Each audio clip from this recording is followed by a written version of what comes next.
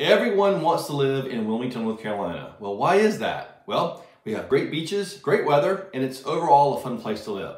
So I'm gonna tell you all the different areas of New Hanover County, Wilmington, North Carolina, where you can live. So stay tuned.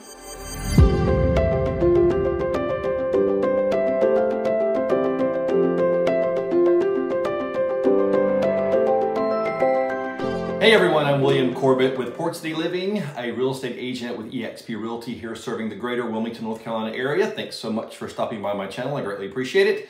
If you like what you hear today, please consider subscribing and hitting that little bell so you can get notified every time I bring you information about living in the Wilmington area and some real estate topics. So today I'm going to tell you uh, a few areas of Wilmington to live in. Now, New Hanover County, which is basically all of Wilmington, is, is very small. It's the second smallest county in North Carolina.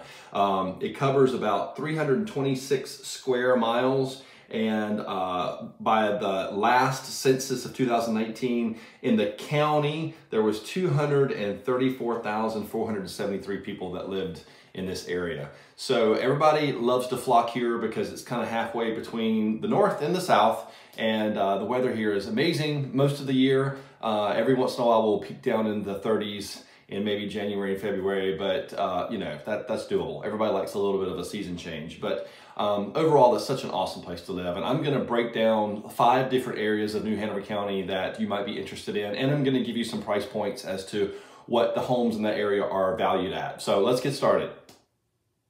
The first area I want to talk to you about is Kirkland, also known as Porter's Neck area of Wilmington. It's on the north end of the county. It's just across the line from Pender County, and then above that is Onslow County. So if you're military and you work at Camp Lejeune, this might be a great place for you to live. If you don't live in Jacksonville, but you want to live in Wilmington or close to Wilmington, this is the perfect location. Shopping, restaurants, everything you can need, easy access into downtown, easy access into the middle of Wilmington where everything is, and the beach is right around the corner. So if you're interested in this area, home prices go anywhere from 240,000 for a nice two or three bedroom home up to 3.1 million. Absolutely gorgeous location. Okay, historic downtown Wilmington is one of my favorite places to live in Wilmington. I used to live down there a couple of years ago and I just miss it so much. Um, but it's just, it's gorgeous. And you've got all the history of the old architecture. You've got the brick streets. You've got the oak trees with the Spanish moss. I mean, it couldn't get any better. If you love good nightlife, if you love really good restaurants, this is definitely the place to be. And we have the river and the Riverwalk. So New Hanover County is sort of shaped like a V. So we have the beach on one side and the river on the other. So about a year or so ago, I did a video about the Riverwalk. You can check that out right here. Tell me what you think about that. And again, downtown Wilmington, is, is so eclectic and so amazing. So uh, home prices go anywhere from 65,000 all the way up to 2 million. Okay, next location in New Hanover County to live is Midtown area, or I like to consider Midtown. Some people may differ uh, on, on that definition, but Midtown is like the UNCW, Mayfair adjacent area in town, heart of Wilmington. Um, great location. Uh, everything is around you, easy access to everything. Home prices go anywhere from um, $150,000 maybe for a single family. Um, I want to say 67,000-ish for maybe like a one bedroom condo, all the way up to $1.25 million. Uh, the heart of Wilmington is uh, somewhat older, and if you like nostalgia and you love those brick ranches from the 60s and 70s, then this is definitely your place to live.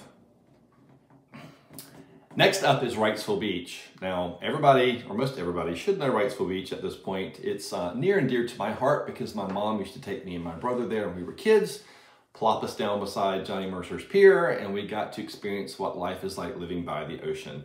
And uh, it, it is one of my most favorite places in the world. It's absolutely incredible beach. It's just right in Wilmington. Could not get an, a better location.